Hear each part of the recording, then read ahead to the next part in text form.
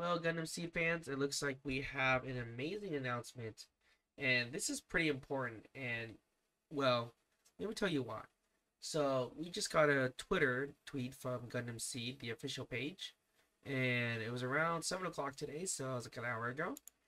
And from here, this is a gift for last visitor. So, as you guys know from my last video, a few videos ago, is that um, Gundam Seed Freedom will be ending this month for its theater re- uh, release. And so they want to give a final gift for everyone who still wants to watch it, I guess. And for this week would be a special gift uh, postcards. Uh, this will be distributed after car- uh, after postcards, just you know, depicting what happens next in this work.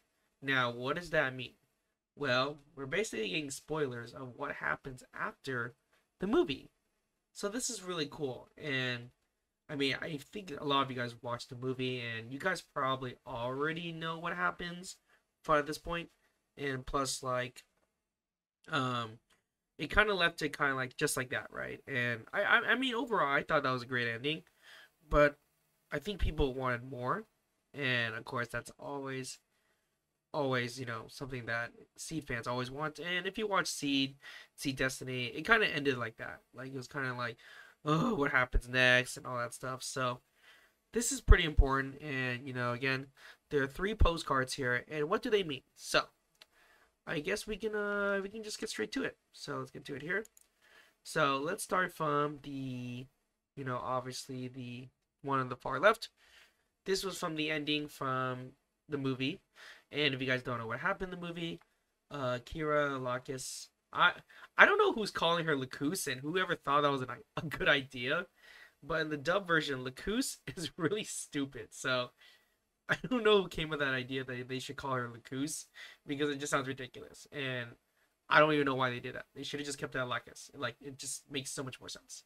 So on this, as you can see, um, if we look closely, right? So this is the scene where in the end of the movie, Kira and Lacus basically share a kiss finally, and they're both naked. So that's pretty much it for that part.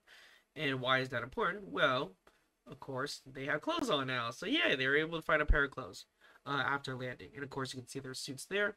So they're obviously on the same island. And if you look at the back, you kind of get an idea where they are. So let's zoom in. Let's see what we can find. Actually, I probably need to open this again. So let's open this link. So let's look here. Who is in the back? Well, I don't know. but just from looking here, it could be their Kira's parents.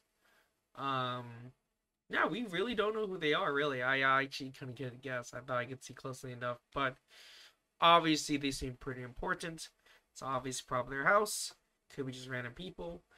But you know, I mean, if we look at, you know, it could be Kira's parents, but I can, I, I can definitely take a look. Let's, we can see what's going on. Well, just from looking here, it really looks like it's the same house, just based off this. It looks like the same house. So, oops, where's that image? So you can see the house here. It looks very similar to what we see here. Where's the photo? It's not popping. Okay, here we go.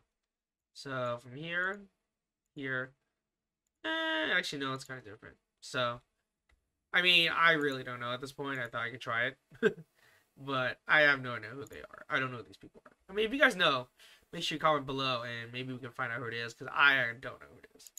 So, anyways, so that's pretty much happens after the ending. Um, I want to say the middle for last because obviously the middle is the best one. But let's look at the one on the right.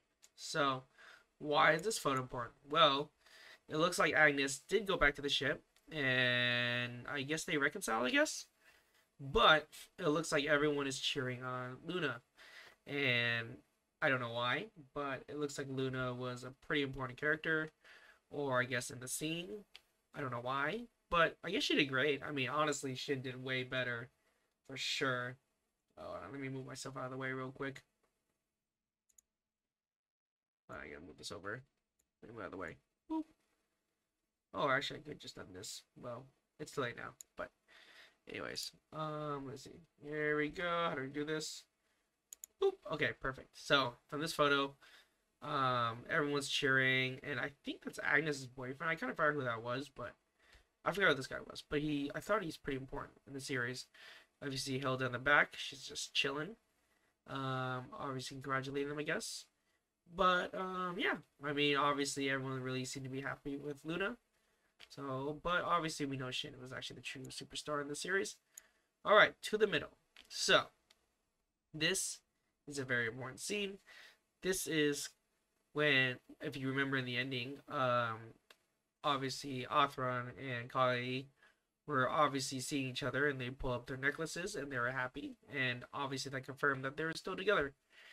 Um, but this is the scene where they both see each other finally, and obviously uh, Athrun is very, very happy to to see Kage. And if you read the novel, you know he really, really loves her. So this is a really nice confirmation. This makes me happy for sure.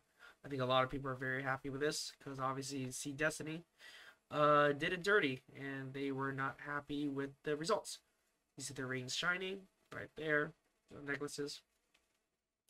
And of course, you see these two. They're from Gundam Seed and Seed Destiny. If you remember who they are, they seem to be there to congratulate them with the nice photography. And this is actually a nice note because uh, in Seed Destiny, she was doing a lot of photography. So this is kind of cool as she pulls out the camera. Um, obviously, Luna's sister is just chilling. She's kind of like the supporter, and obviously, she's a huge supporter of them. So this is great too. And uh, I believe in the background, this is the um, this is either this is probably the Strike Rouge, but uh, yeah, no, this is a very, very happy photo. This makes me really happy. And I'm sure a lot of author and Kage fans. And if you don't know, Kage won Best Girl in the, uh, I guess, uh, what do you call that? Kind of like voting poll for Gundam Seed. So this is uh, this is great news. This is fantastic. So Kage fans rejoice. We finally got what we wanted. So yeah. Anyway, so these are just postcards from Japan. You can definitely pick one up. So this is really really cool. Uh, but yeah, no, this is this is cool. Uh, so a little note there. Uh, anyways, if you can find out who these two are, I have no idea who they are. Make sure you comment below. Thanks so much for watching. Thanks so much, and see you on the next video. Peace. Hey, I was watching that.